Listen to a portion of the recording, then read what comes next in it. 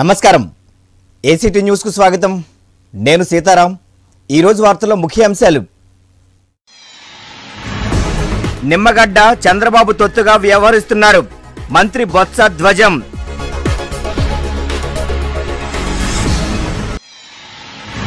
ప్రత్యామ్నాయ ఇంధన వనరుల వినియోగంపై దృష్టి సారించాలి సేవ్ ఫ్యూయల్ ర్యాలీలో ఎంపీ ఎంవివి పిలుపు అవగాహనతోనే క్యాన్సర్ నివారణ సాధ్యం క్యాన్సర్ వాక్లో వక్తల వెల్లడి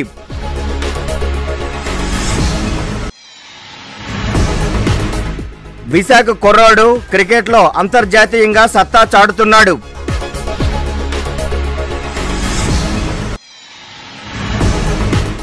విశాఖ కుర్రాళ్ళు స్వీయ సాధనతో సంగీతంలో రాణింపు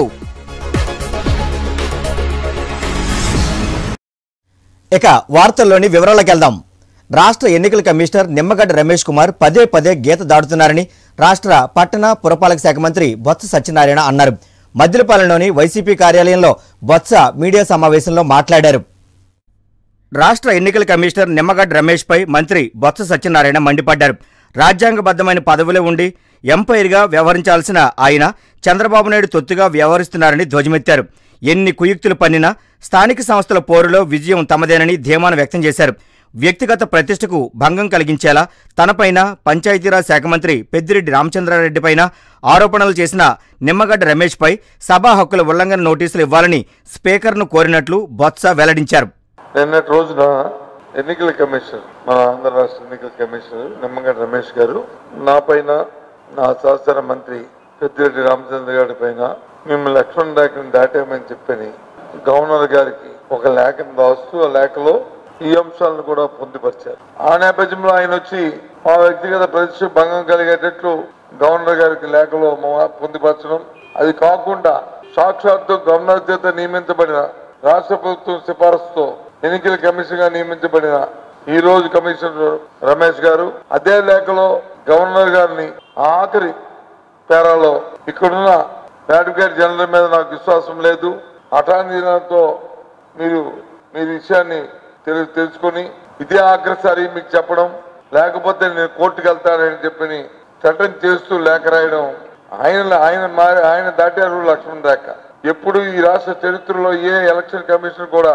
అటువంటి భాషతో లేఖ రాసిన దాఖలాలు లేవు ఈ రోజు కడప జిల్లా వెళ్ళారు కడప జిల్లా విలేక సమావేశంలో ఏం మాట్లాడారో మనం చూసాం సాక్షాత్ ఎన్నికల కమిషనరు ఇది ఏదైనా జిల్లాలు పర్యటిస్తున్నప్పుడు వారి బాధ్యతను గుర్తెరిగి ఆ పరిధిలోనే ఆ కార్యక్రమాన్ని చేసుకుని రావాల్సిన నేపథ్యాలు మనం చూసాం చట్టాలు చెప్తున్నాయి రాజ్యాంగం చెప్తుంది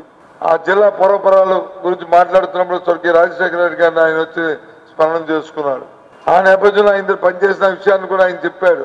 చెబుతూ సిబిఐ కేసుల గురించి కూడా ఎత్తాడు వాటి మీద ఆయన వ్యక్తిత్వం భయం భక్తుల గురించి కూడా మాట్లాడాడు నేను ఈ సందర్భం అని అడుగుతున్నాను ఇది అవసరమని అడుగుతున్నాను ఇంధన వనరుల పొదుపు ఆవశ్యకతను తెలియజేస్తూ బీచ్ రోడ్లో ఓ చమురు ఉత్పత్తి సంస్థ అవగాహన ర్యాలీని చేపట్టింది హిందుస్థాన్ పెట్రోలియం కార్పొరేషన్ సంస్థ ఏర్పాటు చేసిన సైకిల్ దాన్ను విశాఖపట్నం పార్లమెంటు సభ్యులు ఎంఈవి సత్యనారాయణ ప్రారంభించారు రోజు రోజుకు తరిగిపోతున్న సహజ సిద్ధ ఇంధన వనరుల వినియోగంలో పొదుపుపై హిందుస్థాన్ పెట్రోలియం కార్పొరేషన్ లిమిటెడ్ సంస్థ సాగర్ తీరాన ఓ అవగాహన కార్యక్రమాన్ని చేపట్టింది విశాఖ పార్లమెంటు సభ్యులు ఎంవివి సత్యనారాయణ ముఖ్య అతిథిగా హాజరై ఈ అవగాహన ర్యాలీని ప్రారంభించారు పర్యావరణ పరిరక్షణకు దోహదపడే మొక్కలను పంపిణీ చేశారు ఈ సందర్భంగా ఎంవివి సత్యనారాయణ మాట్లాడుతూ రోజు రోజుకు తరిగిపోతున్న పర్యావరణానికి ముప్పు మన దేశ ఖజానాకు నష్టం కలిగించే చమురు ఉత్పత్తుల వాడకాన్ని తగ్గించే దిశగా ప్రజలు కృషి చేయాలని పిలుపునిచ్చారు HPCL chief regional manager Achyut Kumar ఈ సందర్భంగా మాట్లాడుతూ క్రమేణా తగ్గిపోతున్న చమురు ఉత్పత్తుల స్థానే ప్రత్యామ్నాయ సహజసిద్ధమైన కాలుష్య రహిత ఎప్పటికీ తరిగిపోని ఇంధన వనరుల వినియోగంపై ప్రతి ఒక్కరూ దృష్టిని సారించాలని పిలుపునిచ్చారు విశాఖపట్నం బీచ్లో హెచ్పిసిఎల్ బీపీసీఎల్ ఐఓసి కంపెనీలన్నీ కూడా కలిపి save oil save environment good health ఈ కార్యక్రమాల్లో వీరంతా కూడా ఒక మంచి అవేర్నెస్ కార్యక్రమం ప్రవేశపెట్టడం జరిగింది మనం ఏ విధంగా ఆయిల్ని మనం సేవ్ చేయాలి అదేవిధంగా మన ఎన్విరాన్మెంట్ పర్యావరణాన్ని ఎలా కాపాడాలి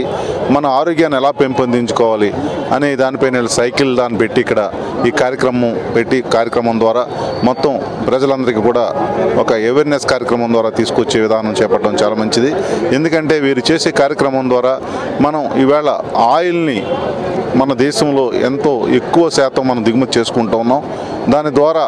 మన మన దేశానికి సంబంధించిన సంపద విదేశీ మార్క ద్రవ్యాన్ని వెచ్చిస్తూ ఉన్నాం అదేవిధంగా ఈ ఆయిల్ని ఎక్కువ వినియోగించడం వలన మన ఎన్విరాన్మెంట్లు పాడై మన పొల్యూషన్ పెరుగుతూ ఉంది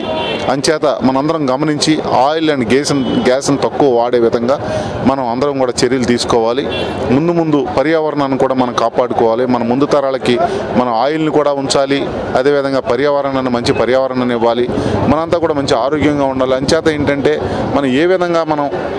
వీటిలన్నింటిని కూడా కంట్రోల్ చేసే విధంగా చేస్తే బాగుంటుందనేది వీరంతా కూడా అవేర్నెస్ కార్యక్రమం ద్వారా తీసుకురావడం చాలా మంచిది మనందరం కూడా మన బాధ్యతది ఈరోజు మనం సక్షం ప్రోగ్రామ్ మనం ఇక్కడ జరుపుకుంటున్నాం సక్షం అంటే సంరక్షణ క్షమత మహోత్సవం so ministry of petroleum all oil companies petroleum conservation research association వీళ్ళ ఆధ్వర్యంలో ప్రజల్లో మాస్ అవేర్నెస్ మనం ఆయిల్ పొదుపుగా వాడాలి అన్న కాన్సెప్ట్ని ప్రజల్లోకి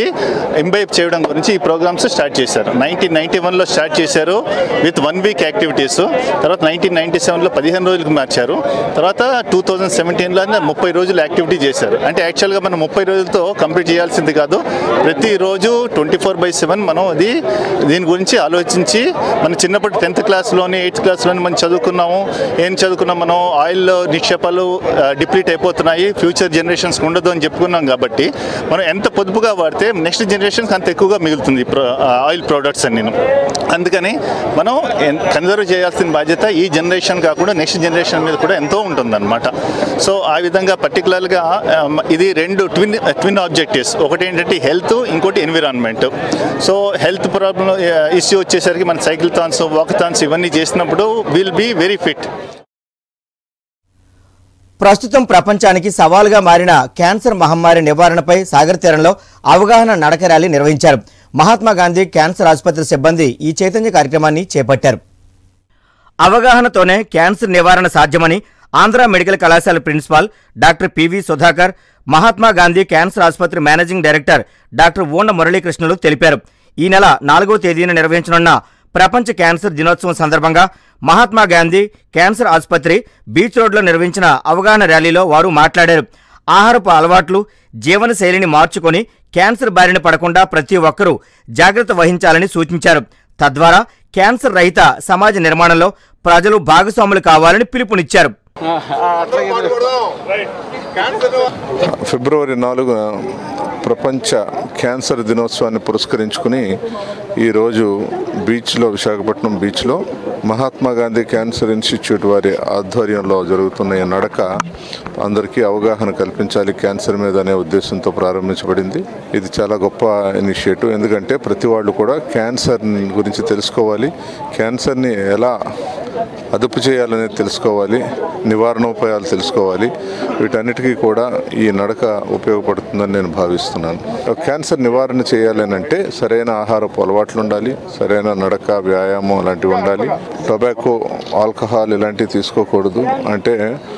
పొగ తాగటం తప్పు అలాగే మద్యం సేవించడం కూడా తప్పు కాబట్టి ఇలాంటి దురలవాట్లకు దూరంగా ఉంటే క్యాన్సర్ని మనం అరికట్టవచ్చు రెండవది క్యాన్సర్ ప్రారంభ దశలో వచ్చినా కూడా వెంటనే వైద్య సదుపాయం అందితే క్యాన్సర్ నుంచి పూర్తిగా విముక్తి కలుగుతుంది ఇది ప్రతి వాళ్ళు అవగాహన ర్యాలీలో తెలుసుకోవాల్సిన విషయం ఇది అందరికీ నలుగు దశల ఈ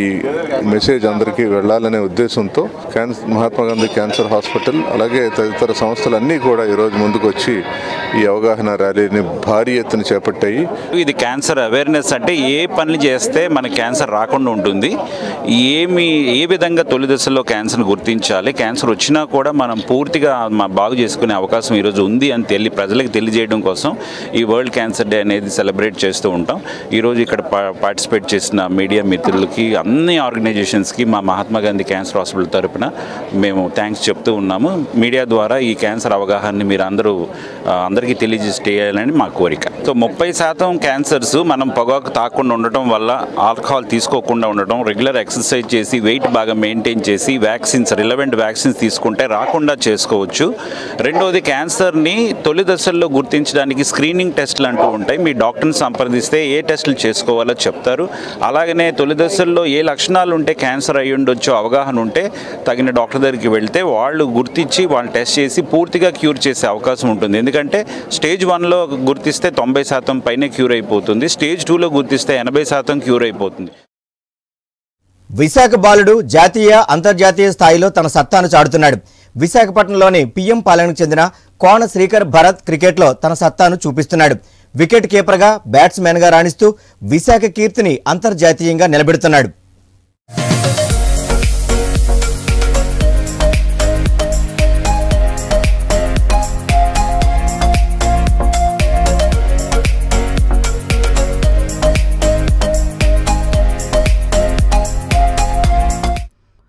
వారిది ఒక సామాన్య కుటుంబం కోన శ్రీనివాస్ నేవల్ డాక్యార్డ్లో ఓ సాధారణ ఉద్యోగి శ్రీనివాస్ మంగాదేవి దంపతుల కడుపున భరత జాతి గౌరవాన్ని నిలబెట్టి భరత్ పుడతాడని ఆ తల్లిదండ్రులు కనలేదు అలాగే పేరు కూడా యాదృచ్ఛికంగా భరత్ అని పెట్టుకున్నారు పేరుకు తగ్గట్టే భరత జాతి కీర్తిని ప్రపంచం నలుమూలన ఇనుముడింపజేసేలా మంచి క్రికెటర్గా ఎదిగాడు విశాఖపట్నం పిఎం పాలనకు చెందిన కోన శ్రీకర భరత్ క్రికెట్లోని రాణిస్తున్నారు తన ఏడేళ్ల ప్రాయం నుండే క్రికెట్పై మక్కువ పెంచుకున్నాడు రెండు వేల నాలుగో సంవత్సరం నుండి రెండు వేల ఆరో సంవత్సరం వరకు అండర్ థర్టీన్ రెండు వేల ఆరులో అండర్ ఫిఫ్టీన్ కూడా ఆడారు రంజీ ఆడారు రెండు వేల పదిహేనో సంవత్సరంలో ఐపీఎల్ కూడా ఆడారు బంగ్లాదేశ్పై విజయాన్ని సాధించినప్పుడు కోహ్లీ నుండి ప్రశంసలు కూడా అందుకున్నారు తన కొడుకు పడిన కష్టానికి తగిన ఫలితం దక్కుతోందని తల్లిదండ్రులు శ్రీనివాస్ మంగాదేవి హర్షాన్ని వ్యక్తం చేశారు భరత్ చిన్నతనం నుండి నిబద్ధతతో క్రికెట్ పైన దృష్టి పెట్టాడన్నారు Visakhapatnam district cricket association Andhra cricket association వారి ప్రోత్సాహం మరువలేనిదని గుర్తు చేశారు అసోసియేషన్ల ప్రతినిధులు భారత్ ఎదుగుదలకు పూర్తి సహకారాన్ని అందించారన్నారు విశాఖకు చెందిన ఈ యువ క్రీడాకారుడు మరిన్ని విజయ శకరాలను అధిరోహించి మన విశాఖ పేరు నిలబెడతారని ఆశిద్దాం సో శ్రీకర భారత్ ఇండియన్ టీంలోని స్టాండ్ బైకి వికెట్ కీపర్గా సెలెక్ట్ అవ్వడం చాలా సంతోషంగా ఉంది సో వాడికి చిన్నప్పటి నుంచి క్రికెట్ అంటే చాలా ఇష్టం అనమాట అండి అంటే యాజ్ ఎ పేరెంట్గా చదువుకోవాలని నాకు కూడా వాడు మంచి చదువు చదువుకోవాలి పై స్థాయిలో మంచి చదువు చదవాలని ఉండేది కాకపోతే వాడి ఇంట్రెస్ట్ అంతా కూడా ఆట మీద ఉండేది అనమాట అండి అప్పుడు వీధిలో పిల్లలతో కలిసి ఆడుతూ ఉండేవాడు సో వాడు ప్రతిసారి కూడా వీధిలోనే ఆడుతున్నాడని వాళ్ళ మదరు నాకు ఎక్కువగా చెప్తూ ఉండేది అండి అప్పుడు నాకు అనిపించింది వీడికి చదువుతో పాటు కూడా ఏదో ఒక స్పోర్ట్స్ ఇంట్రెస్ట్ ఉంటుంది సరే అందులోనే ఒక వాడికి వేస్తే చక్కగా వాడు సంతోషంగా ఉంటాడనే ఉద్దేశంతో మేము క్రికెట్లో వాడికి జాయిన్ చేయడం జరిగింది అనమాట సో వాడికి ఈ క్రికెట్తో పాటు చదువును కూడా ఈక్వల్గా తీసుకుని వెళ్ళాడు నేను ఎప్పుడు కూడా చదువు గురించి పోర్స్ చేయలేదు చదువు చాలా ఇంపార్టెంటే కాకపోతే వాడు ఉన్న ఇంట్రెస్ట్ని తను నేను తన వాళ్ళ మదరు ఇద్దరు కూడా బాగా వాడి యొక్క ఇంట్రెస్ట్ని గమనించి వీడికి ఏదైనా మంచి కోచింగ్ ఇచ్చేటట్టయితే వాడు సంతోషంగా ఆడుకుంటూ చదువుకుంటాడనే ఉద్దేశంతో మేము వాడిని క్రికెట్లో కంటిన్యూ చేసామండి కానీ ఈ స్థాయికి కాడ రావడం మాకు చాలా ఆనందంగా ఉంది అలాగే పేరెంట్స్ కూడా మనం ఒక పిల్లలకి ఏదైతే ఇంట్రెస్టో అది గమనించడం ద్వారా వాళ్ళు సంతోషంగా దిగుతో పాటు వాళ్ళకి కావాల్సిన కళ కూడా వాళ్ళకి వాళ్ళు ఏదైతే అనుకుంటారో వాళ్ళు అచీవ్ అవుతారని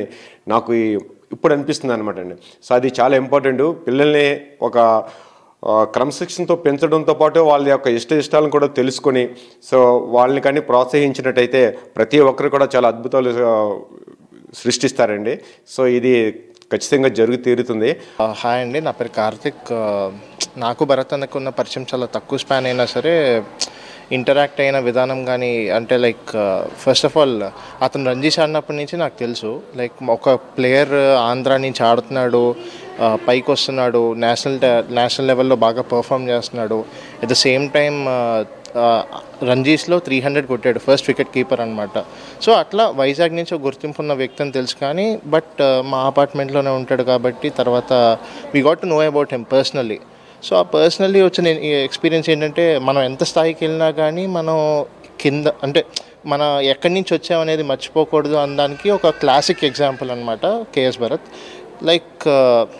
అతనితో ఇంటరాక్ట్ అయిన ప ప్రతిసారి కూడా తను ఒకటే చెప్తా ఉంటాడు you have to work hard and you need to achieve what you want so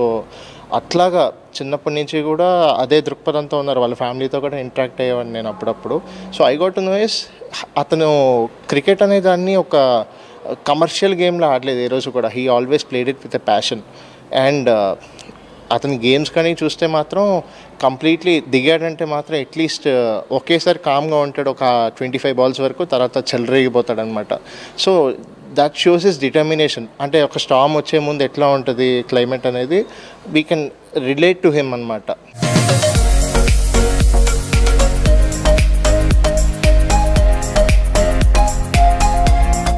Visakha local talent గల్లీ నుండి ఢిల్లీ దాకా నగరం నుండి నయాగర జలపాతాల వరకు దూసుకుపోతున్నారు విశాఖ యువత ఎలాంటి గురువు లేకుండానే వారి సొంత నైపుణ్యంతో మ్యూజిక్లో రాణిస్తున్నారు విశాఖకు చెందిన అభిలాష్ అరుణ్ లవ్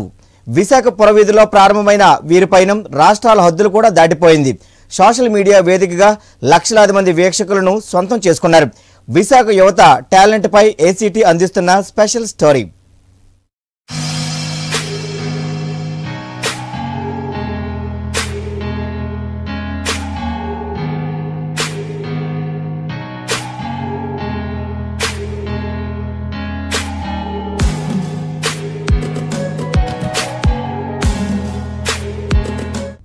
అలుపెరగని పయనం అర్ధరాత్రి వరకు ప్రాక్టీస్ నడి సంద్రంలో గమ్యం దొరకని నావలా సాగింది వీరి ప్రయాణం విశాఖకు చెందిన అభిలాష్ లవ్ అరుణ్ల సంగీత ప్రయాణంలో ఎన్నో కష్టాలు మరెన్నో ఒడిదుడుకులు అయినా ప్రయాణం ఆపలేదు విశాఖ ప్రైవేట్ కళాశాలలో ఇంజనీరింగ్ చదువుతున్న వీరి అభిరుచులు కలిశాయి చదువుతో పాటు మరేదైనా టాలెంట్లో రాణించారన్న వీరి ఆలోచన వీరిని ఒకటి చేసింది ముగ్గురు యువకులు సంగీతంలో రాణించాలని అనుకున్నారు ది నైన్టీన్ పేరుతో త్రీ బ్యాండ్ పార్టీగా అవతరించారు తెలుగు హిందీలతో పాటు ఇతర ప్రాంతీయ భాషల్లో కూడా గీతాలను ఆలపించే గొంతు వీరి సొంతం మూడు సంవత్సరాల క్రితం వీరి ప్రయాణం ప్రారంభమైంది విశాఖ పురవీధిలో ప్రదర్శనలిచ్చి ప్రజల మన్ననలు అందుకున్నారు వారే స్వయంగా పాడుతూ మ్యూజిక్ ప్లే చేస్తూ సంగీత ప్రియుల మనసు దోచుకుంటున్నారు ఇప్పటికే దేశవ్యాప్తంగా వివిధ రాష్ట్రాల్లో పలు ప్రదర్శనలు ఇచ్చారు ప్రభుత్వం చేయూతనిస్తే మరింత దూసుకుపోతామని అంటున్నారు లోకల్ టాలెంట్ని గుర్తించాలంటూ విజ్ఞప్తి చేస్తున్నారు అంతర్జాతీయ గుర్తింపు పొందిన విశాఖలో యువత అంతే స్థాయిలో ఎదిగేందుకు ప్రభుత్వాలు అన్ని రకాలుగా సహకరించాలని కోరుకుందాం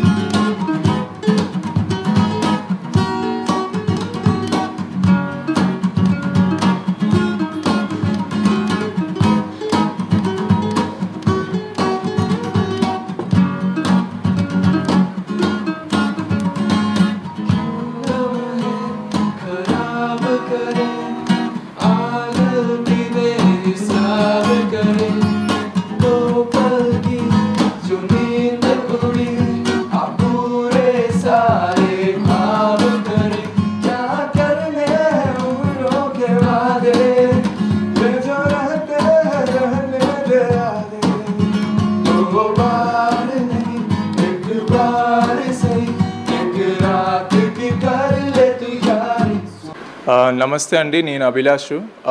నేను వైజాగ్ ఒక మ్యూజిషియను నా బ్యాండ్ ఉంది దాని పేరు ద నైన్టీన్ అని మేము త్రీ పీస్ బ్యాండ్ మేము మా బ్యాండ్ స్పెషాలిటీ ఏంటంటే మేము ముగ్గురు పాడతాము ముగ్గురు ప్లే చేస్తాము సో నా మ్యూజిక్ జర్నీ ఎలా స్టార్ట్ అయిందంటే ఫస్ట్ మేము ఫస్ట్ ఏమో నేను సోలో సింగర్ యాజ్ వెళ్ళాను ఒక షోకి సో ఫస్ట్లో ఏమో నాకు ఎవరు గురువు లేరు అస్సలు ఒక్క గురువు లేరు బట్ నాకు అంటే కాలేజ్ వెళ్ళినా నాకు నేర్చుకోవాలని ఉంది మ్యూజిక్ నాకు ఇంటర్నేషనల్ ఆర్టిస్ట్ వాళ్ళందరినీ చూసినప్పుడు నేను అనుకున్నాను నాకు కూడా ఒకసారి పాడాలని ఉంది నేను కూడా ఒకసారి స్టేజ్లో అలా వెళ్తానని మా ఇంకో గోల్ ఏంటంటే మేము రిక్వెస్ట్ చేయాల రిక్వెస్ట్ చేయాలనుకున్నాం గవర్నమెంట్కి కి చాలా వైజాగ్లో మన లోకల్లోనే వైజాగ్లో చాలా టాలెంటెడ్ మ్యూజిషియన్స్ ఉన్నారు చాలా మా మాకని బాగా ప్లే చేస్తారు సో మేమేమనుకున్నాం వాళ్ళు కానీ బయటికి రావట్లే వాళ్ళంటే వాళ్ళకి అది ఎక్స్పోజర్ లేదు సో నేను ట్రై చేస్తా మేమేం ట్రై చేస్తాం మా త్రూ మేము అంటే మన మా ఎక్స్పోజర్ త్రూ మేము ఇంకా ట్రై చేస్తాము ఇంకోళ్ళకి ఇంకోళ్ళకి కొంచెం వైజాగ్ ఆర్టిస్ట్ వాళ్ళందరూ బయటకు రావడానికి సో మేము రిక్వెస్ట్ చేస్తాం అది కొంచెం ఇన్స్ట్రుమెంట్స్ లేకపోతే ఎవరికి వాళ్ళ మ్యూజిక్ ఇంట్రెస్ట్ ఉంటే వాళ్ళకి కొంచెం కోర్సెస్ ప్రొవైడ్ చేయండి మ్యూజిక్ కోర్సెస్ కూడా ఇక్కడ చాలా తక్కువ సో అలాంటి అన్ని ఏదో ఫెసిలిటీస్ ఉంటే ఇంకా మన ఇండియాలో మంచి మ్యూజిషియన్స్ వస్తారు మన వైజాగ్లోనే మంచి మ్యూజిషియన్స్ వస్తారు so I would like to request that to to the government నేను నైన్టీన్ బ్యాండ్లో యూక్లిలీ ప్లే చేస్తాను ఇంకా సింగర్ కూడా మేము బాండ్ బ్యాండ్ ఫామ్ చేసి ఇప్పుడు three year three three and half years అవుతుంది ఇంకా నేను చిన్నప్పటి నుంచే మ్యూజిక్ చేస్తున్నాను ముందు ఎవరు అంతా సపోర్ట్ చేయలేదు అంటే ఫస్ట్ టైం ఎప్పుడు పాడానంటే ఒక ప్రాజెక్ట్ ఉండేది మా హిందీ ప్రాజెక్టు దాంట్లో ఏదైనా టాలెంట్ టాలెంట్ చూపించాలి అయితే నేను అనుకున్నాను నేను పాడాలనేసి అప్పుడు నేను పాడిన తర్వాత అందరు నవ్వారు అంటే ఎవరికి నచ్చలేదు అప్పుడు అయితే నేను నాకు చాలా బాధపడింది నేను అనుకున్నాను ఇప్పుడు ఏం చేయాలి ఇలా అయితే వన్ ఇయర్ ఫుల్ గట్టిగా ప్రాక్టీస్ చేశాను వన్ ఇయర్ తర్వాత మళ్ళీ ఇంకో స్టేట్ షో అయింది అక్కడే ఆ స్కూల్లోనే అప్పుడు పర్ఫామ్ చేసిన తర్వాత అందరికీ చాలా నచ్చింది ఆ క్రౌడ్ ఎంకరేజ్మెంట్ చూసి నాకు అంటే ఆ ఫీల్ అయింది అంటే ఇప్పుడు ఈ ఫీలింగ్ నాకు మళ్ళీ మళ్ళీ రావాలండి ఇంకా ఇప్పుడైతే మేము బ్యాండ్లో అయితే ఇప్పుడు చాలా షోస్ చేస్తున్నాం ఇప్పుడు వరకు సూరత్లో చేసాం బెంగళూరులో చేసాం చాలా కాలేజెస్ ఉంది ఎస్డిజే కాలేజ్ ఇంకా జ్యోతి నివాస్ కాలేజ్ చాలా ఇంకా వైజాగ్లో కూడా చాలా కాలేజెస్ ఫెస్ట్ చేసాం ఇంకా కార్పొరేట్ షోస్ కూడా చేసాం ఇప్పుడు మా మెయిన్ ఫోకస్ ఏంటంటే ఇప్పుడు మెయిన్ మా త్రీ పీస్ బ్యాండ్కి ప్రమోట్ చేయాలి ఇంకా మా ఆల్బమ్స్ రీచ్ అవ్వాలి అంటే నార్మల్ యూత్ ఆడియన్స్కి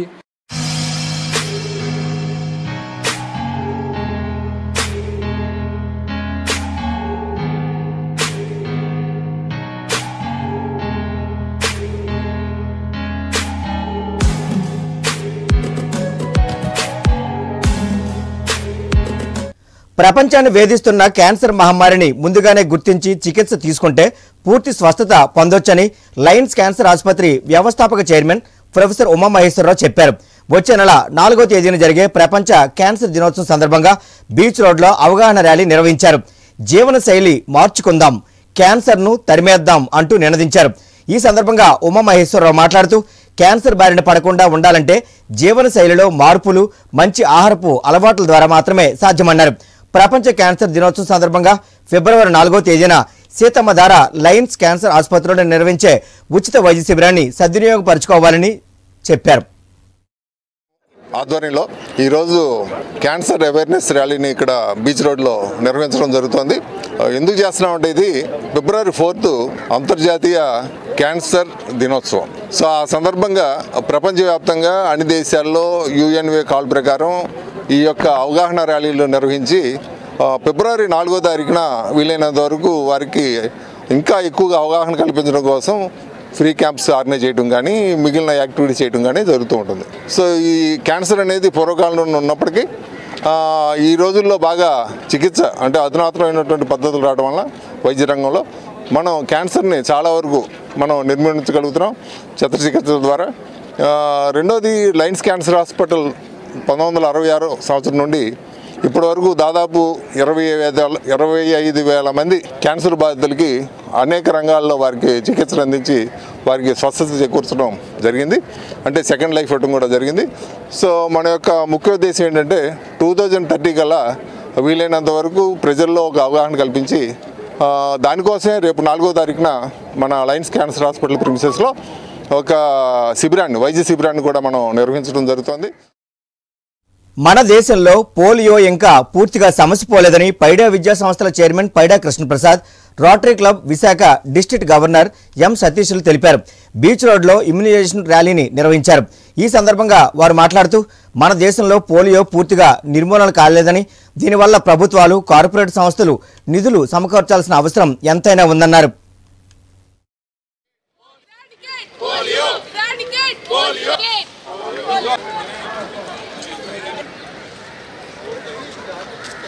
రోటరీ క్లబ్స్ విశాఖపట్నంలో ఉన్న అన్ని క్లబ్లు కలిపి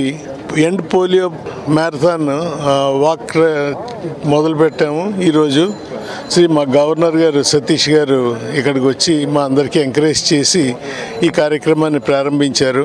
ఇవి అందరికీ తెలుసు ప్రపంచం మొత్తం మీద రోటరీ క్లబ్ ఎంతో కృషి చేసింది పోలియోని ఎరాడికేట్ చేయడానికి అందులో భాగంగా ఆఖరి దశలో ఉన్నాము వన్ పర్సెంట్ ఆఖరి దశలో ఈ కార్యక్రమం అందరికీ ప్రజలకు అవేర్నెస్ చేయాలి కాబట్టి ఈరోజు పల్స్ పోలియోతో పాటు ఈరోజు ఈ కార్యక్రమాన్ని కూడా రోటరీ క్లబ్ నిర్వహించడం జరుగుతున్నది సో ఈ కార్యక్రమంలో ప్రజలందరూ కూడా పెద్ద ఎత్తున పాల్గొని ఈ కార్యక్రమాన్ని విజయవంతం చేసి పల్స్ పోలియో మీద వాళ్ళకున్న అవగాహనని తెలియజేశారు rotary club of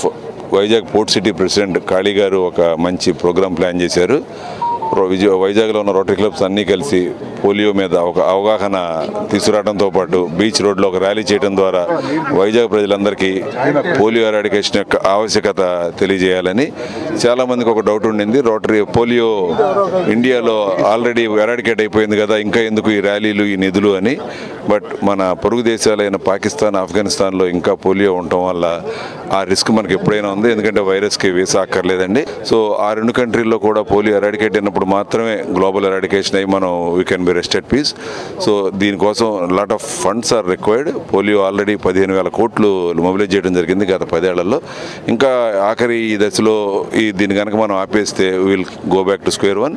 so polio గురించి ప్రజలకి అవగాహన కలగజేయడంతో పాటు నిధులు కూడా సేకరించి ఆ నిధులు రోటర్ ఇంటర్నేషనల్ పంపించడం ద్వారా global eradication of polio possible అవుతుంది so request all Vizag people to cooperate to all rotary clubs of Vizag in mobilizing funds and in creating awareness also thank you రాష్ట్ర ఎన్నికల కమిషనర్ నిమ్మగడ్డ రమేష్ పై మంత్రి ముత్తంశెట్టి శ్రీనివాసరావు ఫైర్ అయ్యారు ఒక రాజ్యాంగబద్ధమైన పదవిలో ఉండి తెలుగుదేశం పార్టీకి కొమ్ము కాయడం విడ్డూరంగా ఉందన్నారు గత ప్రభుత్వంలో ఐఏఎస్ అధికారులు మంచోళ్లు జగన్మోహన్ రెడ్డి సర్కార్లో ఐఏఎస్ అధికారులు చెడ్డోళ్లని నిమ్మగడ్డ రమేష్ వ్యాఖ్యానించడం సబబు కాదన్నారు అది ఆయన విజ్ఞతకే వదిలేస్తున్నామని చెప్పారు ఎలక్షన్స్ వ్యతిరేకం కాదు ఎలక్షన్స్ ఎప్పుడు పెట్టినా విజయం ఒక ఎలక్షన్ కమిషనర్లా కాకుండా ఒక రాజకీయ నాయకుడిలాగా విమర్శలు చేయటం ఆయన ఎంతవరకు సబు ఆయన ఆత్మవిమర్శ చేసుకోవాలి ఆయన ఎలాంటి విమర్శ చేయకపోతే మేము కూడా విమర్శలు చేయం ఆయన ఒక ఎలక్షన్ అధికారిగా ఉంటే మేము కూడా ఆయన అధికారిగా చూస్తాం గౌరవిస్తాం మరి ఆయన నేను అనుకుంటాం మరి ఎలక్షన్స్ ఇది అయిపోయిన తర్వాత మరి రాజకీయాలకు వద్దాం అనుకుంటారో నాకు తెలియదు తప్పనిసరిగా ఆయన పని ఆయన చేసుకుంటే మా పని మేము చేసుకుంటాం ప్రజాస్వామ్య వ్యవస్థలో ఏ వ్యవస్థకుండే గౌరవం ఏ వ్యవస్థకు ఇబ్బందులు ఇంపార్టెన్స్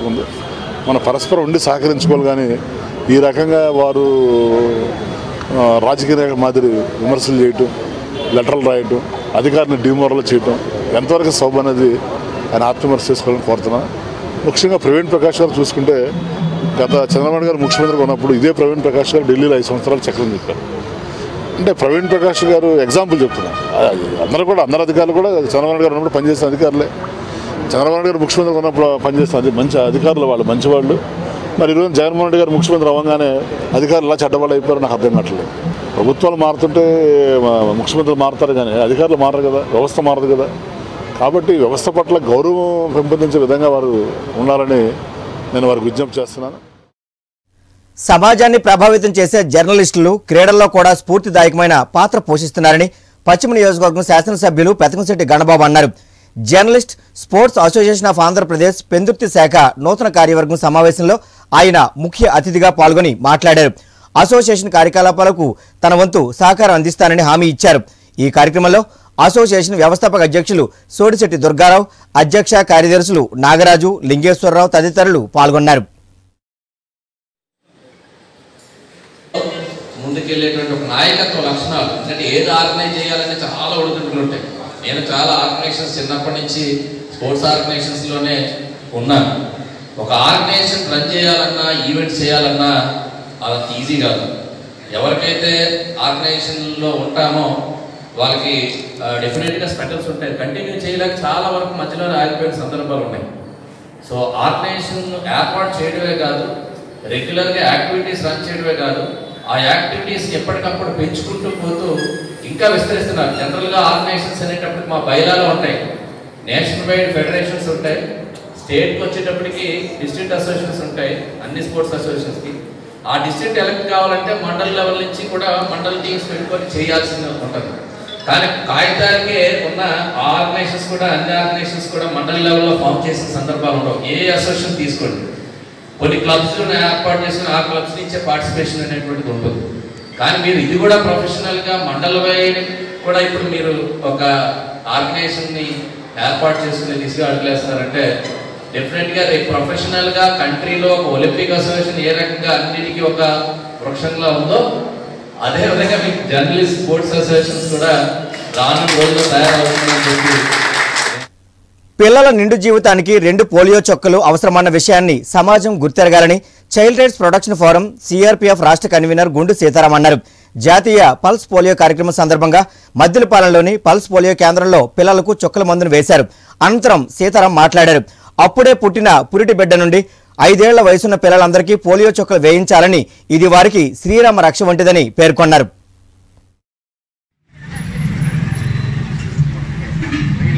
ఈరోజు జాతీయ పల్స్ పోలియో కార్యక్రమాన్ని ఇరు ప్రభుత్వాలు కూడా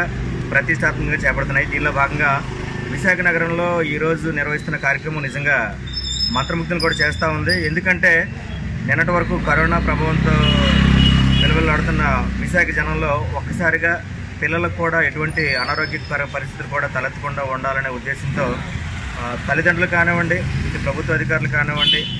లేకున్నట్లయితే సమాజం కానివ్వండి తనదైన శైలిలో ముందుకొస్తూ పిల్లల్ని దగ్గరుండి మరీ తీసుకొచ్చి వ్యాక్సిన్ వేస్తున్నారు నిజంగా ఇది ఒక రకంగా చెప్పాలనుకున్నట్లయితే ఒక ఉద్యమం ఈ ఉద్యమంలో ప్రభుత్వంతో పాటు చైల్డ్ రైట్స్ ప్రొటెక్షన్ ఫోరం ఇటు రాష్ట్ర వ్యాప్తంగా పదమూడు జిల్లాలతో పాటు విశాఖ నగరాన్ని కూడా వేదికగా తీసుకొని ఈ కార్యక్రమంలో పాల్పంచుకోవడం జరుగుతూ ఉంది దాదాపు ఇక్కడ ఉన్న వాళ్ళందరూ కూడా చైల్డ్ రైట్స్ ప్రొటెక్షన్ ఫోరం సభ్యులతో పాటు ప్రభుత్వం తాలూకా సిబ్బంది కూడా ఉన్నారు పల్స్ పోలియో ప్రతి ఏటా జాన్యువరి చివరి ఆదివారం జరుపుకోవడం జరుగుతుంది దీన్ని మేము ప్రతి ఏటా కూడా మా సిఆర్పిఎఫ్ ఒక ఉద్యమంలా తీసుకొని పిల్లలకి మంచి భవిష్యత్తు అందించాలని ఒక పోలియో చుక్క జీవితానికి పిల్లల ఉజ్వల భవిష్యత్తు చుక్కానిలా వాళ్ళ జీవితాన్ని గమ్యం చేరుస్తుంది అందుకని తప్పకుండా తల్లిదండ్రులందరూ కూడా మంచి అవగాహన ఏర్పరచుకొని పిల్లలందరినీ తీసుకొచ్చి ఈ పోలియో డ్రాప్స్ వేయించుకోవాలని వినయపూర్వకంగా అందరినీ కోరడం జరుగుతుంది ఏసీటీ న్యూస్ ముగించే ముందు ముఖ్య అంశాలు మరోసారి నిమ్మగడ్డ చంద్రబాబు తొత్తుగా వ్యవహరిస్తున్నారు మంత్రి బొత్స ధ్వజం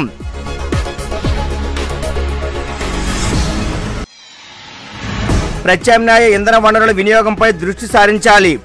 సేవ్ ఫ్యూయల్ ర్యాలీలో ఎంపీ ఎంవివి పిలుపు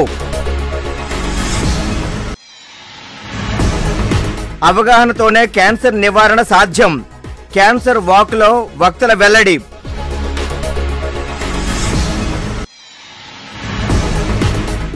విశాఖ కుర్రాడు క్రికెట్లో అంతర్జాతీయంగా సత్తా చాటుతున్నాడు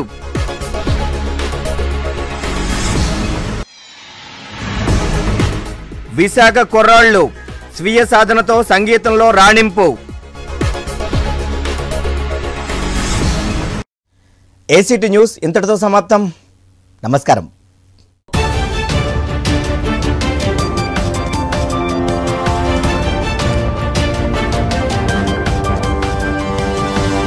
you